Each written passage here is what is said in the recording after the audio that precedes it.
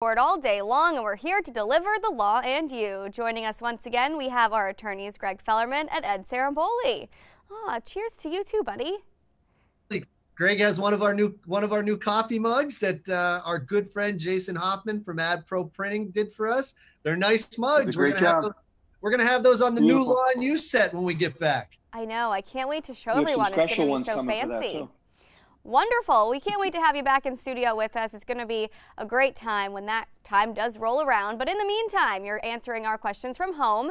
This comes from Neil in Scranton. Neil says, I was riding my bike and crossing an intersection when a car ran a stop sign and hit me. I broke my arm and wrist. I have limited tort and I'm not sure if I can sue. Can you help?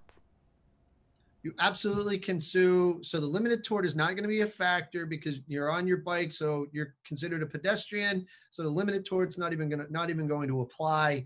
Um, but there's a you know listen, there's a there's a lot that you need to do in this particular you know particular case because I guarantee this is this is going to end up being a he said, you know, he said type of case where this guy's going to say he stopped, he's going to, you know, you're going to say he ran the stop sign. So there's some physical evidence that you can do get right now if you act quickly to prove your case. Um, you know, skid marks, if the guy's, you know, the the damage to his vehicle will show the point of impact that all that stuff is really critical to be able to show who's really at fault for this particular uh, you know crash because you don't want to come down to a he said you know versus he said or he said versus she said. You want to use the physical evidence to prove your case. And and with these cases there, there could be video surveillance. Um, so it's good to get an investigator out. I think we're going to be doing a, a law and use segment on bike safety shortly so um, hopefully we can answer some of your questions on that too Haley oh. on the roads. The Wait till you see bikes. Greg's biking outfit.